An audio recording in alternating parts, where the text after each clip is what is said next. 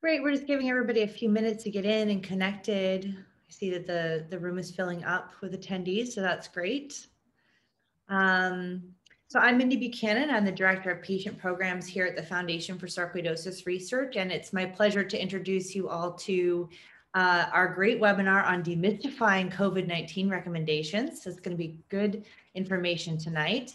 Uh, I also want to officially thank our uh, sponsors for this event, Mallinckrodt Pharmaceuticals, for their support um, of this event. And uh, thank you to Mallinckrodt. And uh, just to get started, there is a bit of housekeeping. So as you guys know, uh, this is a webinar. We are not able to hear or see you. If you have questions, please put it in the Q&A box at the bottom of your screen. Usually, if you're on a Mac, it's at the bottom. If you're on a PC, sometimes it's at the top. Uh, but go ahead and put your questions in throughout the webinar. There will be time for Q&A after uh, Dr. Harper's presentation. So with that, it's also my pleasure to introduce you to Dr. Logan Harper. He is a pulmonologist at Cleveland Clinic. He focuses his clinical time on providing comprehensive care for sarcoidosis patients as part of Cleveland Clinic Sarcoidosis and Interstitial Lung Disease Center. His research interests include developing patient-centered interventions to reduce health disparities in sarcoidosis related to race and income, as well as novel sarcoidosis treatments. Welcome, Dr. Harper. Hello, hello, everyone. Thank you for that really kind introduction, Mindy. Um, I'm really glad everybody came, and I and I wanted to thank the FSR for putting on this um, this um, presentation and giving me a, a chance to talk. Um, as, as Mindy said, I am Logan. I'm one of the sarcoidosis phys physicians at uh, Cleveland Clinic. And I also work in the ICU where we spent the last two um, years really uh, wrestling with um, COVID. And I'm very excited to give this um, talk about the current COVID guidelines and how they apply to, sarc to sarcoidosis patients. Um, let me share my screen and then we can get going.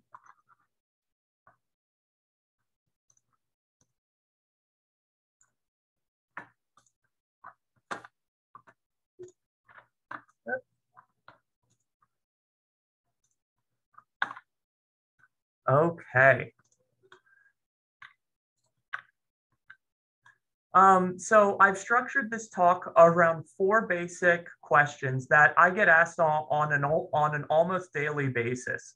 Um, first, patients and doctors have been at times confused by the huge amount of data and recommendations, um, as well as the frequent changes we've um, had around COVID.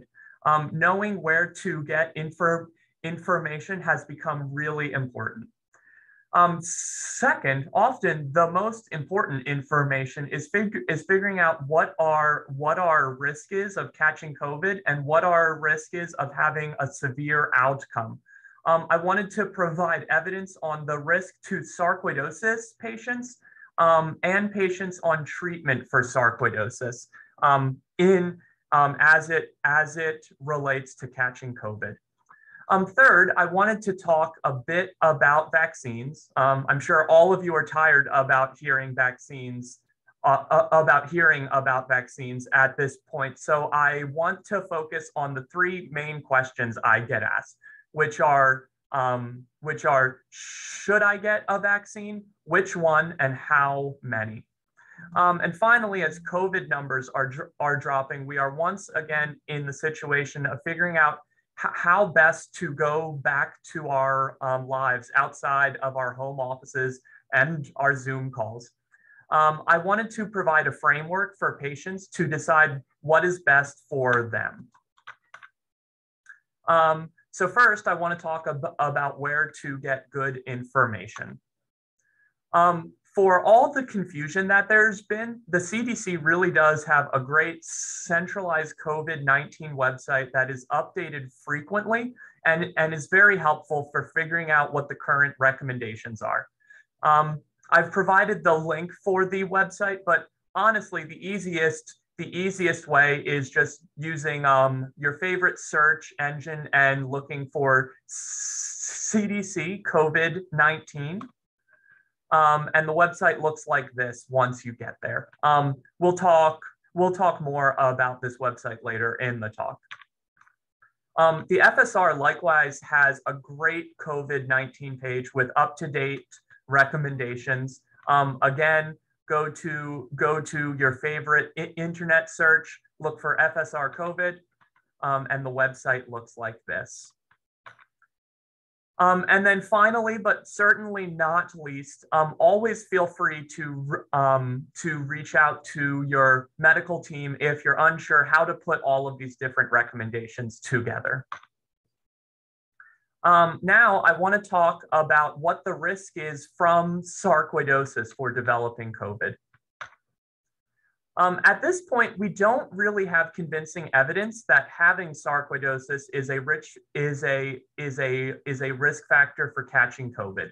Um, the main data we have from this comes from a study done by the FSR and multiple sarcoidosis institutions.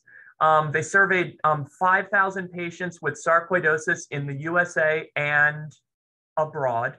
Um, and they found that the rate of the rate of infection was variable, but it but it but it wasn't higher than in the, than in other groups of um, patients.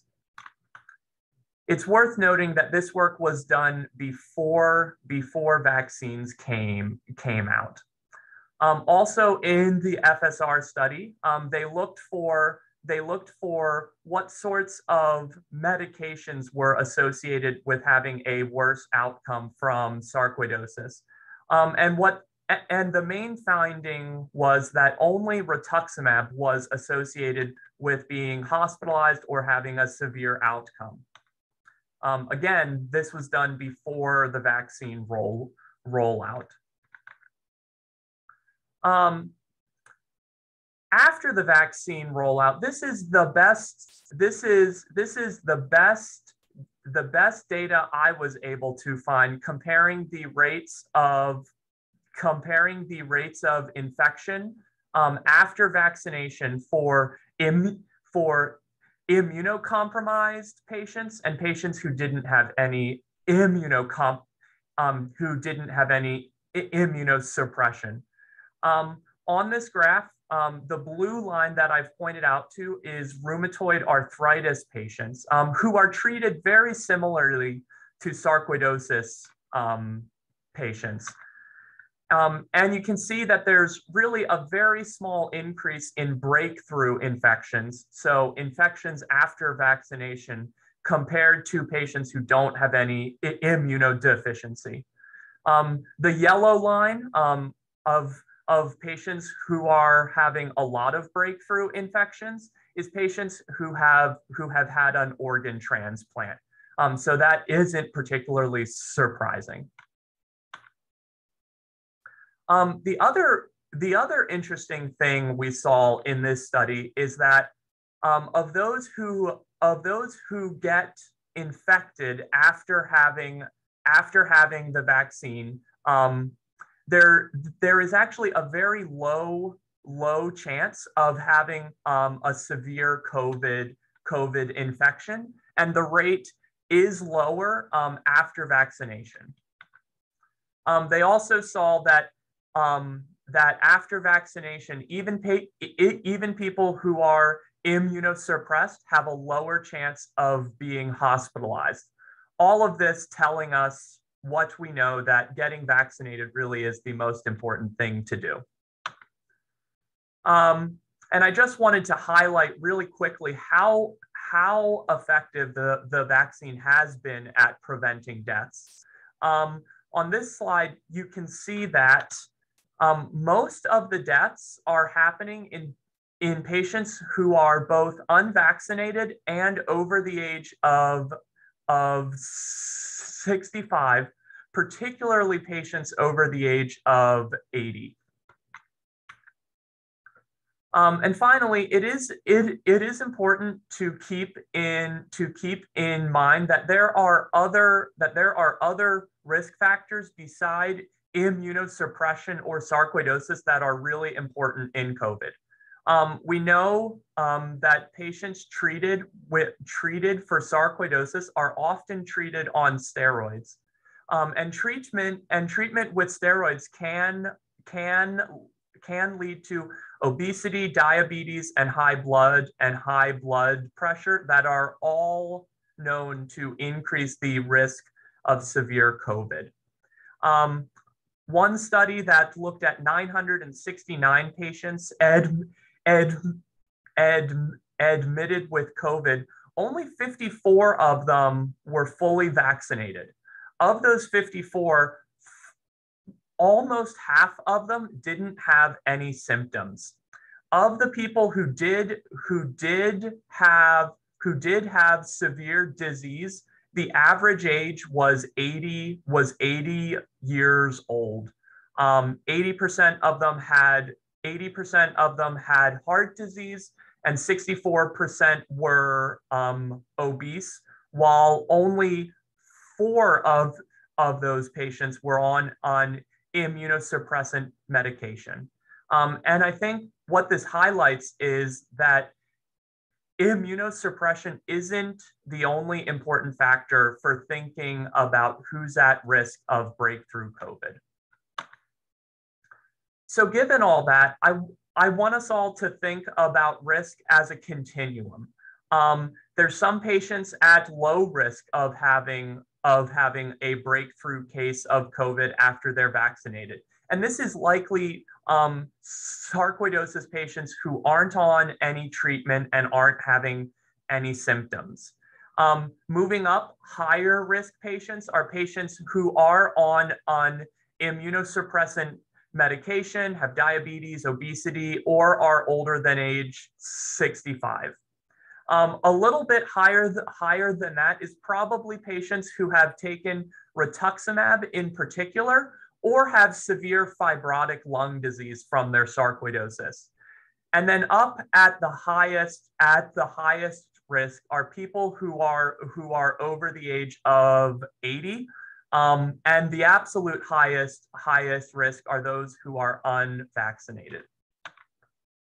Um, and I do, and I do want to highlight that this picture I've drawn is more to give you a sense of the um, relative risk, and these aren't in any means um, exact measurements of the risk of these patient groups. Um, the other important part of gauging your risk of catching of catching COVID is knowing how how much COVID is active in your in your area um, your risk of, of, catching COVID is obviously much higher if we're at the levels of COVID we had back back in Jan in January than they are now when the levels really do seem to be coming down. Um, the best place I, I, I have found to, to figure out how active COVID is in your area is the CDC website that we looked at earlier. If you go to the Your Health tab, um, you can then go to COVID 19 by county. And then you can enter your state and your county. And then that'll tell you if there's high, medium, or low um, trans transmission of COVID.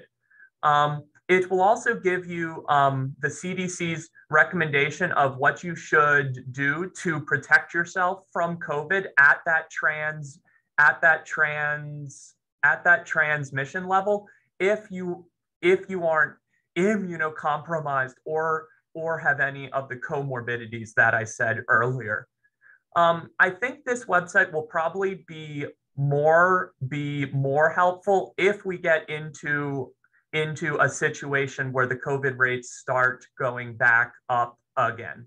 Um, obviously, we're hoping that doesn't happen. Um, so to summarize, your risk is definitely modified by how much COVID is in your area, your underlying health conditions, and what treatment treatment you're you're on. Um, highest highest risk is being unvaccinated. Intermediate risk is any is any of these factors listed listed here and having asymptomatic sarcoidosis that isn't that isn't requiring any treatment um, is probably at an at a lower level of um, of um, risk. Um, so now that we've talked about risk, I want to talk. Uh, I want to talk about what you can do to um, protect yourself. Um, so first off, let's talk. Let's talk about vaccines briefly. Um, I think the best guidance I've seen for vaccines is from the American College of Rheumatology that has provided really great vaccine guide guidelines focused on patients with autoimmune or um, inflammatory disease. Um, you can actually read these guidelines yourself if you um, want with a quick with a quick Google search. Um, I think the important points to point out are first that um, they say there is no known contraindication outside of an actual allergy to one of the vaccine components to getting a COVID vaccine. Um, and I would say if you do think you have an allergy to one of the of the vaccine components, seeing an allergist to discuss um, what that what that means is a good idea because if you are allergic to one of the vaccines, there's definitely a chance that one of the other vaccines you're um, not allergic to. Um, they also they also recommend that everybody get a COVID a COVID vaccine, regardless of having a past COVID um, infection. And then also they mentioned that they recommend a COVID vaccine um, despite the potential risk of causing a disease flare given that we can control a disease flare of sarcoidosis, but but COVID can be much more tricky and and and and um, and does have a relatively high chance of of having a bad out outcome. Um, so once you decide to get vaccinated, the next question is which vaccine should you get? um, there really is a broad consensus that the mRNA vaccines, so those are the um, Moderna and the Pfizer vaccines, have better efficacy and less side effects than the J and J eh, than the J and J vaccine. Um, I have I have up here um, both both the CDC recommendations and the American College of Rheumatology's recommendations. Um, when it says AIIRD, that stands for auto, auto, autoimmune and inflammatory disease patients. Um, so what we've seen is the mRNA vaccines reduce reduce the risk of COVID infection by 95% compared to, to only a 66% reduced risk with the Johnson & Johnson vaccine. Um, so now that you know which vaccine to get, the final question is how is is how many vaccines should I get? And this and this has been a real point of confusion because this really has changed multiple times. Um, again, I think the CDC really has it laid out very nicely um, for, um, for us. You can see here in, in this chart that for patients older than 18 who aren't moderately or severely immunocompromised, they recommend on initial two shots, one to two months apart, followed, followed by a third shot five months after the initial shots. For patients who are moderately or severely immune compromised, they, they um, recommend a three shot in initial series, so one shot every month, followed by a fourth booster shot three months after the third shot. Um, it's definitely important to talk with your healthcare practitioner, whether you qualify as moderately or severely immunocompromised, because there's definitely a little bit of um, of um, wiggle room there, and and um, and um, your individual medical history will will definitely impact if your doctor recommends that you're in the four shot series or the three shot series. Um, so now that so now that we've talked about um, about risk and how to and how to handle vaccines, I want to talk about the elephant in the room, which I think is um, masks and social distancing. Um, so masks and social distancing have been kind of controversial through this whole through this whole epidemic. And as we're and as we're coming to a place where there's less COVID out there, um, I definitely think there's been a lot of focus on what we can do for patients who are who are who are who are healthy.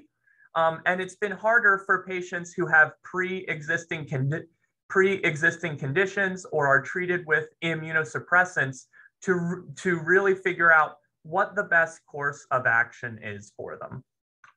Um, so I want to address this question by looking at two really important questions. Does a, does a mask offer protection? And when can I stop social distancing and wearing a mask?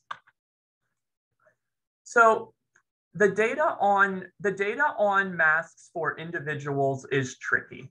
Um, we obviously have ample data that in groups that in that in that in groups of people, if everybody wears a wears a mask or or or if most people wear a wear a mask, that we're able to really decrease the transmission of COVID. I couldn't find any studies that individually address if immunosuppressed patients wearing a wearing a wearing a mask after being vaccinated when other people weren't wearing weren't wearing masks if that provided any benefit. Um, and i think that's that's a really tricky question to answer. Um, the closest the closest i could find um, were there were there were studies back in back at the beginning of covid before we had vaccines where they looked at patients where they looked at people who were known to have covid who were wearing a mask and did they trans transmit it to other people. And masks really helped in in those situ in those situations um, I've seen I've seen numbers everywhere from on from an 11% of um, risk all the way up to a 75% reduction of um, risk. So it's really hard to estimate exactly how much benefit a mask helps. I will say I I can't it's very it's very hard for me to imagine that a mask does does nothing. Um, we know that we we know that masks slow the slow the slow the spread of COVID. So they must have some effic efficacy at keeping people safe individually. So if you're going to wear a mask, the next question is which is which mask should I wear? Um, this study isn't a perfect isn't a perfect study. They asked people what type of what type of mask they wore and then asked them had they developed and then followed them to see had they developed covid. And what they found is the more intense the mask was the less likely they were of developing covid the potential problems of this study are you can certainly imagine that someone wearing an wearing an N95 mask behaves differently than someone wearing a cloth mask. They may be more likely to be vaccinated. They may be more likely to um, they may be more likely to social distance. Their their friends may be more likely to be vaccinated and social distance. Um, but I think it I think it I think it makes sense that if you're going to choose to wear a to wear a mask, why wouldn't you wear a um, why wouldn't you wear a um, mask that had that had the highest chance of blocking out viral particles? So in summary, um, we know that we know that masks reduce the COVID spread in the community it likely and it and it and it likely reduces individual risk but i but i can't tell you how much Um, and I think if you're going to wear a mask and you don't have any huge comfort differences between a cloth mask and an N95, I would choose the N95. The final question that I think is really challenging to end is, is when can someone who has pre-existing medical conditions stop social distancing and masking? Um, again, I want to think about safety as a continuum. Um, so at at the poles, we could give up all of our COVID, all of our COVID, all of our COVID protective measures now and just go back to how things were. At the other pole, we could choose to we could choose to really never leave our houses again until COVID is until COVID is eradicated. Um, I don't think either. I don't think, eh, um, but I think most of us will probably choose somewhere in the middle. And I think the best way to just to to decide where in the middle you fall is to kind of superimpose where your level of risk is. I don't think anyone I don't think any anyone wants to or necessarily should stay stay stay in, in the house and kind of avoid all social interaction until COVID's over. Um, but for those at highest at highest risk, which are those who are who are unvaccinated, over than 80, on on a drug like on a drug on um on um on um rituximab or have severe pul- pulmonary fibrosis considering masking and social distancing in public as you're able and and maybe even wearing a mask when you're with unvaccinated family and friends could be a reasonable personal decision. On the other end, patients who have sarcoidosis but don't have any real symptoms and aren't on any I- I- immunosuppression and don't have any organ damage may say, "Hey, I'm only going to going to mask up if I'm in if I'm in a very crowded crowded place. Um, and then there's people who fall who fall in the in the in the middle. So patients who are on some sort of immunosuppressant regimen have diabetes have diabetes, obesity, or high blood pressure. And they may say, listen, I'm going to mask up anytime I am I am in a public place because that's what makes me feel comfortable. Um, I think this is going to be a really nuanced and um, and personal conversation that you should have with your family, your doctor, um, and figure out where the and figure out what level of risk you are most comfortable with. Um, again, I want to emphasize this chart isn't isn't a specific recommendation of what people should do at at at different levels of um, risk. I just wanted to provide this as a conceptual framework for how you could think about risk. Um, and then finally, before, before we wrap up, I wanted to touch a little bit on long, on long COVID. Um, we've been hearing more and more about it, about it in the news. Um, and I wanted to frame it ar around three questions. What is long COVID? what are the risk factors for long COVID, and what can we do to prevent or treat long COVID? Um, so long COVID has a lot of definite a lot of definitions, and it's not a completely well-defined entity yet.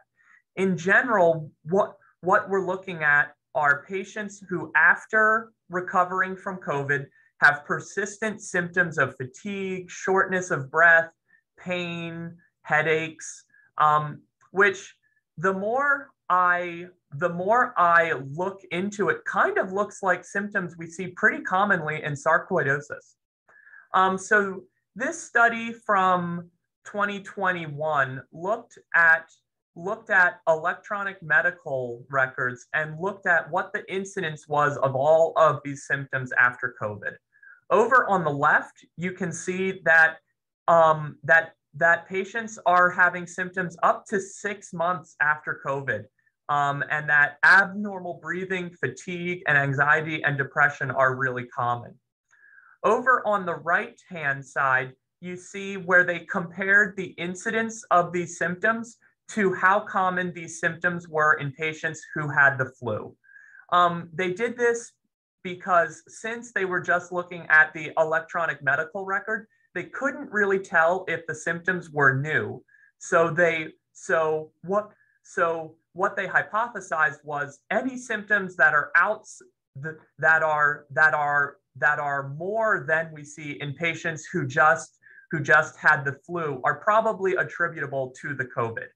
Um, and you can see um, at the bottom with the with the hexagons, um, which are actually nonagons, um, that fatigue, um, abnormal breathing, all of those symptoms um, are are more common with patients who had COVID, represented by the represented by the by the red by the red line than they are in patients who had the flu, represented by the thin green line in the middle.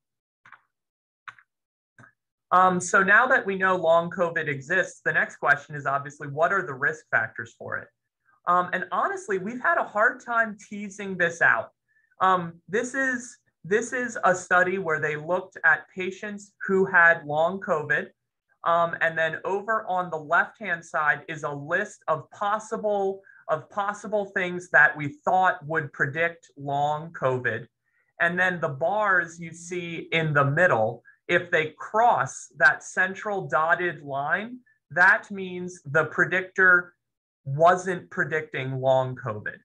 And you can see that, that, all, that all of those lines cross the central dotted, dotted line which tells us that none of these predictors on, on, on the left-hand side were a, were, a, were a risk factor for long COVID. Um, so at this point, I don't have any data that says that sarcoidosis patients or immunosuppressed patients are at higher risk of long COVID. The only, the only risk factors I saw mentioned more than more than a couple times were really um, younger age and female gender. So the obvious question now is, well, how do we prevent prevent long long COVID? Um, and happily, um, a a recent study by the um, UK Health and Security Agency found that found that vaccination before catching COVID did reduce the chances that someone would develop long, long COVID. Um, and there's and there's even some evidence that getting vaccinated after you develop long COVID may help with the symptoms too. Um, so so so here at our COVID clinic, where we are um, really focused on making sure that there's no um, other cause for the symptoms, offering COVID vaccination, and then working with um, physical therapy, respiratory therapy to help with the symptoms of shortness of breath, fatigue, and pain.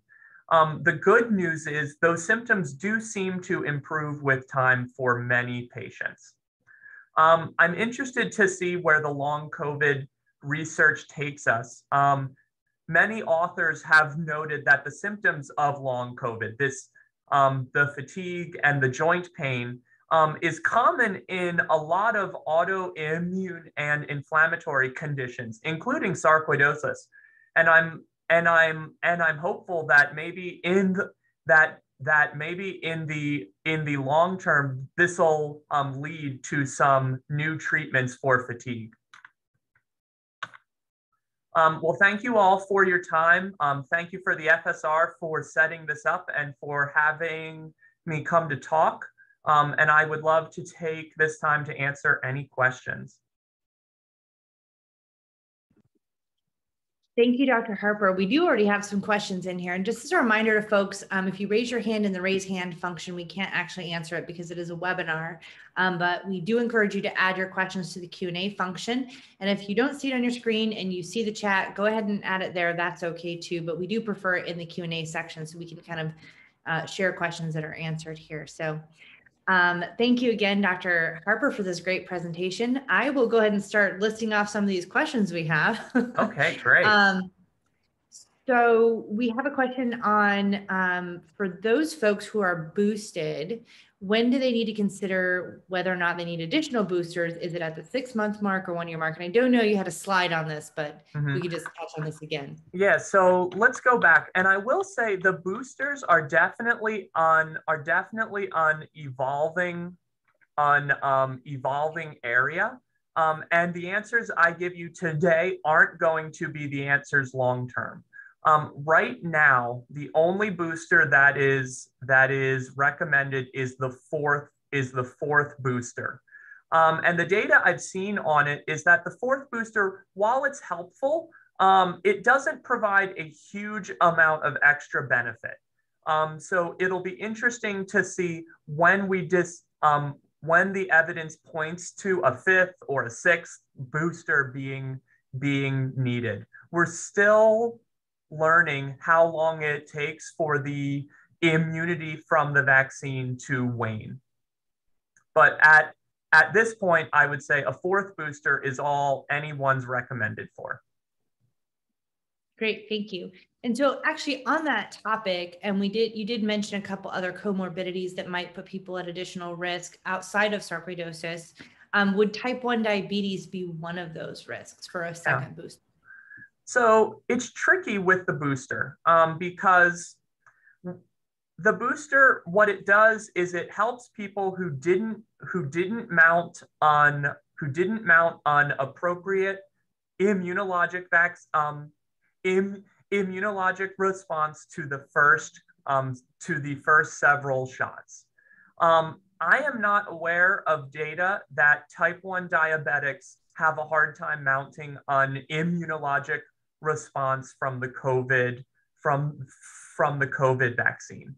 Um, I do think this is definitely one of those questions that talking that talking with your endocrinologist will be very important um, because there definitely is a, a little bit of wiggle room for doctors um, for us to kind of um, gauge our patient's risk and make a really informed, comprehensive decision. Um, so all I can really say for type 1 diabetes is it definitely, if you weren't vaccinated, would increase the risk of a severe of a severe infection. Um, I think the vaccine definitely offers you a strong protection against COVID, and you would and you should talk with your endocrinologist about if that booster is right for you. Thank you. We also have a question about antibody tests. Um, and I know that we've had sort of a topic on this on past webinars. And so folks are asking about whether or not it's worthwhile getting an antibody test um, and what your thoughts are on that. Yeah, I didn't see any obvious recommendations where an antibody test was helpful.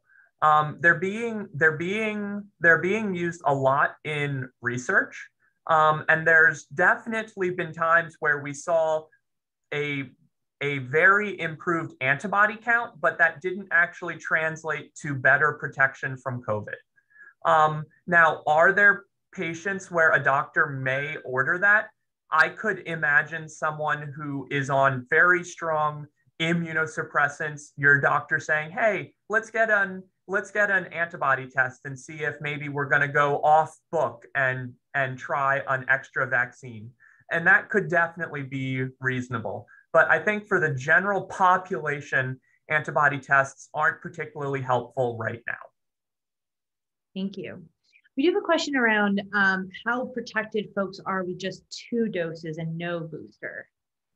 Um, we, yeah, we yeah. definitely think, um, I, I definitely strongly recommend the third shot for every for everybody. Um, I don't have data of exactly how how diminished the protection is without the third, um, but it's definitely less, and everyone should should get that third shot. Great. Um, so we do have a question actually about, and and you know, there may be questions out here that we're not able to answer today, yeah. folks, um, because uh, one of the, and I think this comes from the from the presentation as well. We don't have that much information. we don't have just years and years and years of information, and so we, um, so hopefully we'll we'll try here. So um, we have a question about someone who has long COVID currently and would like to know if there's anything they could be doing to kind of mitigate those um, symptoms, particularly fatigue. Mhm. Um, Yeah, fatigue's a really challenging symptom in really ju- just about every disease where it's common, including sarcoidosis. Um, we know daily exercise helps. Um, there's some data that getting vaccinated if if you're not vaccinated helps. Um, outside of that, I would definitely encourage um, anyone with long COVID to find one of the many um, long COVID clinics that have been set up at hospitals all all over the country. Um, there's a lot of really great work being done, um, and I think that's the best bet to really find um, find potentially new treatments. Thank you. Um, we also have a question uh, around the, you know, the FDA just approved a second booster shot for people over 50. Um, and are there any sort of reasons that someone wouldn't get it if they are over 50, even if they're not immunocompromised? Yeah. Um, in general, I haven't found any convincing reasons not to get the COVID vaccine when it's offered, um, if it's offered within guide within guidelines. Um, COVID's really very is is really a very nasty disease, um, and I haven't seen severe side severe side effects, and the data backs up that side that that that severe side effects are very rare. Thank you. Um, we have a question about folks who have um, been long-term immunocompromised, um, and should they be more caught? I mean, we've already talked about vaccines, so yes to vaccines, Mhm. uh, getting vaccinated there, but um, that you're saying. Uh, but are there other things they should be doing to be more cautious, like on that risk sa- scale? Yeah. If there's someone who's had 20 years of immunosuppressive drugs. Yeah. Uh, And I think it is less. Oh, sorry, sorry, Mindy. It is sorry. It is it is less the duration of the immunosuppression and and more how strong it is right now. Um, and I think that's a really important conversation to have with with your doctor who's prescribing the immunosuppression and get on and and get an idea are you very heavily immunosuppressed. Um, I see someone here has a transplanted heart and they're on four different immunosuppressants. They probably fall into a more highly immunosuppressed cate- category than someone who say has been on five on five milligrams of prednisone for the last 20 20 years and really isn't that immunosuppressed um, and then, so after you talk to your doctor and you figure out are you at high risk or low risk, um, I think high risk people, the most I would probably do at this point would be um, if I'm with people who could be unvaccinated, I would just wear a N95 mask. Um, if you're out, if you're out hiking by yourself, you probably don't need to. Um, if you're in a crowded store, it's probably a good idea. Um, and then talk with your doctor ab- about how how aggressive they think you, you should be with masking and social distancing. And know that that'll change over the next couple months based on a lot of things. Thank you. So we do have a question actually about um, whether or not there, I and there's been a lot of stuff in the news about preventative treatments for COVID. Um, and what are your thoughts on that as far as uh, efficacy goes? Yeah, so th- those treatments seem seem to have good efficacy. The problem is accessing them at this point is still very challenging. Um, I know here, um, everywhere really, it's very difficult to get those treatments. Um, so if you have COVID and you're offered them, I think it's a good idea.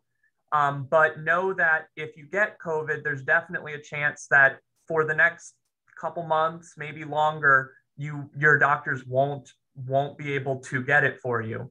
Um, which is why even though we have those treatments, vaccines are still so important. Thank you. So we do have a couple questions about um, sort of vaccine um, reactions. Um, one is around having um, ring, ringing in their ears um, after the second dose of the vaccine and and whether or not they should potentially not get the third one a booster the first booster um, and i think the other one was about whether blood or not clots. Blood clot yes you have a question about blood clots and a question about rashes that persist for months based on Okay. after getting the vaccine Okay. Um, so it's really hard without seeing seeing anyone to tell if this is a vaccine reaction or or not. Um, and I think this again falls into our falls into our risk spectrum. Um, if someone is very concerned that they had a vaccine reaction and they have no medical comorbidities and they were vaccinated, it in a conversation with their doctor, they might choose not to get a booster. Um, if someone is if someone has a lot of risk factors for severe COVID and is immunosuppressed and is advanced age, and the and, and the side effect was mild, um, there may be a decision that hey, even if this was a side effect, my risk of death from COVID is pretty high, so I don't want that. Um, so I think that's unfortunately a question I'm going to have to punt to everybody's doctor everybody's doctor and i know everyone is so tired of of hearing that but there really is so much new nuance in these decisions That makes sense. Thank you. Um, so we have a question about whether or not there's research of the immune system overworking if you get COVID, um, and a concern about additional scarring in the lungs after COVID, after having contracted COVID. um, let me find that. Is that is is that actually is that like independent of the vaccine or just it is that like does covid make sarcoidosis worse? Is that the impression I think the question is if, yeah, if you have COVID, um, the person, if they want to clarify if we're not getting the, the, the, the question correct here, but I believe it's if you get COVID, um, could, should you be concerned with having additional scarring in the lungs post having Oh, yeah. So we definitely do see that. Um, usually it's from, usually if it happens, it's from being on the ventilator or from having really severe infiltrates from the COVID. Um, I haven't seen a lot of data of does COVID, um, of does COVID um, increase autoimmune or um, inflammatory disease. Um, and that could definitely just be, I haven't seen it because there is a lot of data coming out on a daily basis. Um, but um, yes, there can be lung scarring after COVID. It's actually relatively common if you compare it to other respiratory viruses. Um, the best things we can do to avoid that is everything is everything we've talked about to minimize the risk of having severe COVID, which is minimizing co- comorbidities, lowering your risk of having COVID, and if you get COVID, having good, high quality ICU care. Great, thank you. So we do have a question actually about someone who got the Johnson and Johnson vaccine and got the first booster. Um, should they be seeking out? If maybe they're under fifty, but should they be seeking out the another booster?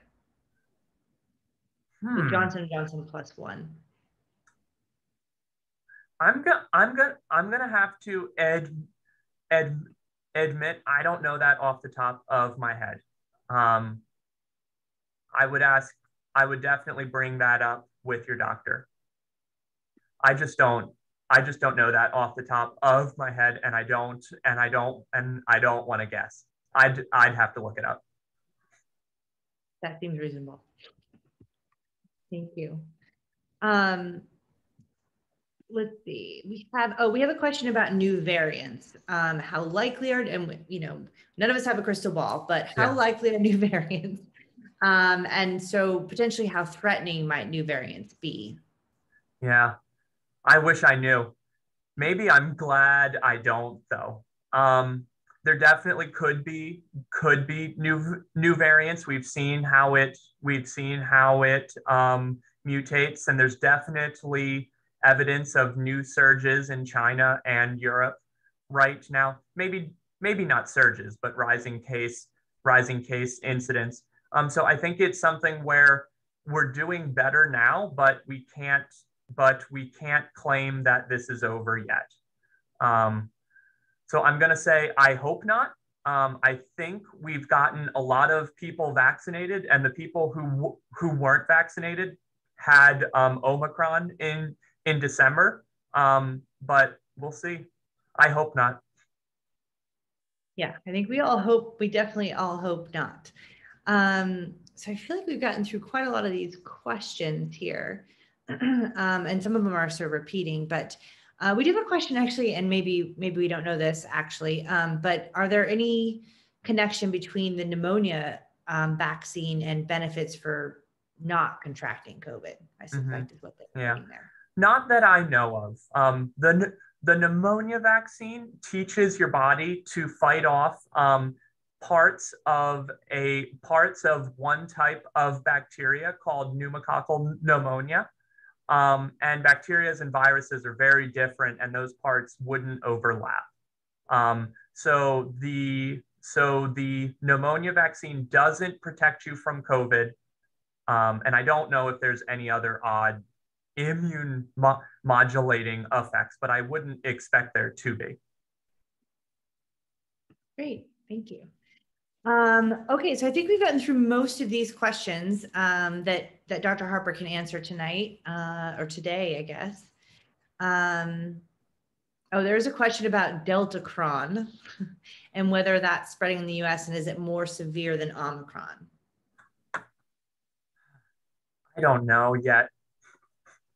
Um, it's hard to define severe too, because like, do you define do you define severe as does it spread more more rapidly or do you spread or, or do you define severe as more people in the icu um, i can say at my hospital um, we haven't seen a second we haven't seen a post omicron surge yet. Um, and i'm i haven't been detailedly following other other areas um, so at this point i i i can't say there's probably a virologist who can, but I'm a sarcoidosis guy, so. Fair enough. Um, we do have a question that actually was submitted earlier uh, about that. So there's been in the news that the airlines are asking to get rid of the mask requirements uh, on planes. And so if you're someone, and I know that you have the risk, that risk slide, which is great. If you're someone um, who might be at higher risk of COVID, um, should they potentially not fly or should they definitely wear a mask when they're flying? Yeah. I think, uh, again, unfortunately, conversation with your doctor, but I think, I think we should all we should all work to go back to our lives as we're able, especially since numbers are are going are going down. I think wearing an N95 on a plane isn't going to hurt anybody and could definitely help. Um, so I think for most people, I, I would say, yeah, why don't you wear an N95? Everybody hates being sick after a flight anyway. Um, if someone's incredibly Im- immunosuppressed, like a solid organ trans- transplant, I would definitely talk with your healthcare team. About whether or not to fly. Yeah, about whether or not flying is a good idea. Great, thank you. Excellent. Well, I think we got through all of our questions here. Unless someone wants to add one at the last minute, um, I invite you to go ahead and do that. But otherwise, um, I just wanted to thank Dr. Harper for such a great webinar and excellent information. And for all of you out there, you will get a copy of this uh, recording uh, and we'll also provide a PDF of the slide information and all the links that Dr. Harper mentioned today as well. Thank you. Thank you for having me, Mindy. Always good to be here. Ah, very good. It's so great to have you. And thank you to everybody who came and attended. Uh, and we will all see you soon. Thank you so much.